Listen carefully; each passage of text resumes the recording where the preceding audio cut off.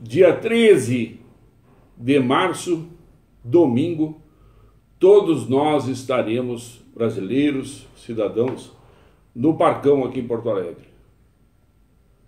É de vital importância que todos nós, com nossas famílias, façamos o comparecimento nesse grande encontro da cidadania. Não é só o processo de impeachment ou afastamento da presidente por crime eleitoral.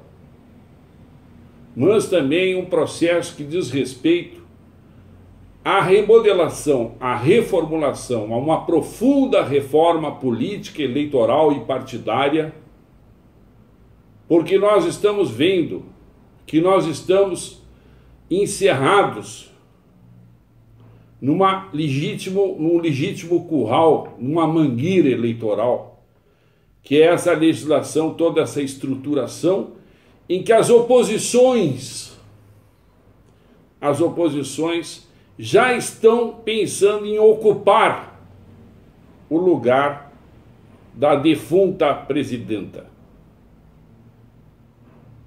Nós não podemos deixar que as coisas fiquem estagnadas e cheguem só, só nesse momento. Nós devemos ultrapassar, porque essa Constituição de 88 foi destruída, foi dissolvida pela partidocracia que se apoderou pela permanência no poder, se apoderou, aparelhou o Estado Nacional. Nós temos aqui no Brasil uma cultura de compadrismo, é o manda quem pode, obedece quem precisa. É o regime do quem indica. E para nós terminarmos, obviarmos essa condição, nós temos que retirar, fazer uma reforma política, mantendo a representação política, mas retirando a possibilidade de reeleição. Porque os políticos, a partidocracia, do jeito que está constituído, transformaram o Estado, lotearam o Estado em seu benefício. Indicam juízes, indicam os membros do, da, do, do, da, do, do Ministério de Contas, dos tribunais de contas, ao seu bel prazer. A Constituição de 88, todo o bloco de constitucionalidade, é uma cópia do constitucionalismo liberal americano, que já tem 250 anos. E nós precisamos remodelar o Estado, dar uma rapidez, uma dinâmica que seja diferente desse estatismo que nós estamos vendo. Nós vamos ter que fazer reformas profundas, diminuir o Estado Nacional colocar o Estado necessário na educação, na segurança e na saúde. E nós não podemos continuar com esse Estado, esse mastodonte, esse inferno de impostos que desaba sobre a sociedade civil, essa regulação violenta. A tudo isso nós teremos que dar uma resposta. Se nós ficarmos novamente ficarmos só nesse detalhe, que é um detalhe, que é a mudança da presidenta e desse partido, que deu uma guinada para a alta esquerda e está desmontando toda, levando o país a uma, catástrofe econômica financeira. Né?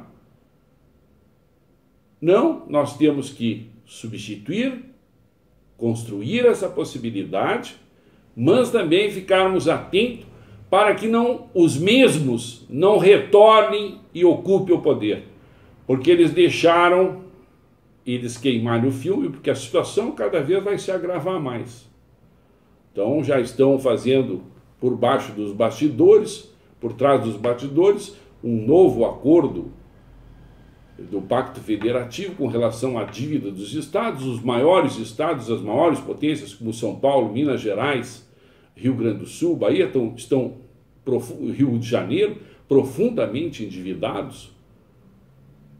E toda essa desconstrução das instituições não foram os militares, não, for, não foram não foi os Estados Unidos da América, não foram os oligopólios que eles estão sempre colocando a culpa em alguém, nunca foram eles.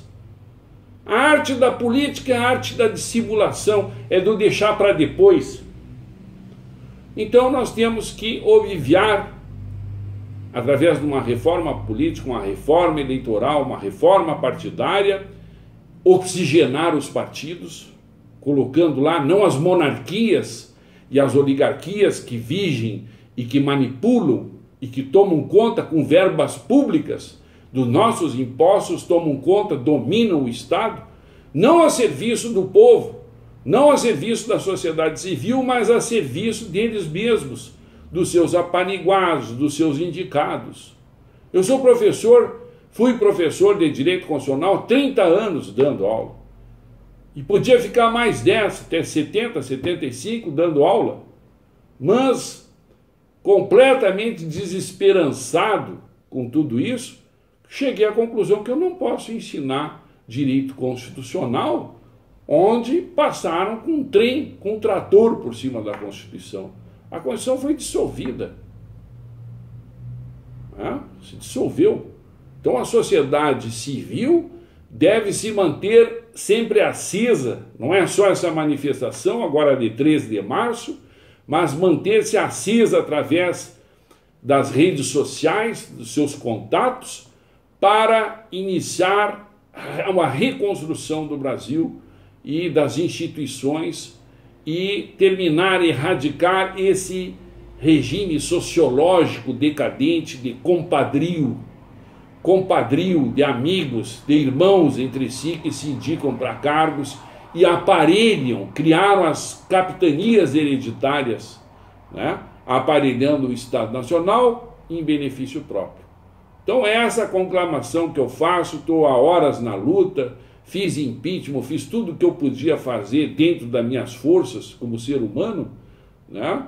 e ainda coloco essa imagem, um pouco decrépita já pela idade, a serviço ainda da minha pátria, a serviço, né, se for convocado, a serviço do Brasil, para que nós todos, meus alunos, meus amigos, as pessoas que me conhecem, que têm estima pelas minhas ideias, né, continuem nessa luta porque não deve cessar isso. Porque senão, aqueles que se dizem oposição, na realidade são a face da outra, da, da mesma medalha, da mesma moeda, que é essa moeda de troca, não é? Venal de troca que nós estamos, corrompida, essa corrupção. É? Eu sei que as famílias, nós todos trabalhamos toda semana e que é difícil ressurgir das cinzas, sabe? E ainda ir protestar ou sair na rua se tem pessoas pagas por nós para nos representarem que, no entanto, não nos representam, paradoxalmente.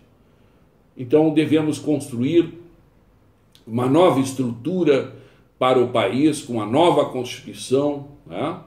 E, portanto, eu convoco, eu conclamo todos meus amigos, meus ex-alunos, todos que a gente participe ali no Parcão, aqui em Porto Alegre, nas outras capitais já estão designados locais, né? para que se faça esse manifesto pela liberdade, pela Constituição, pela ordem jurídica, pela honestidade, pela correção, contra a corrupção, contra a, a chicana, não é?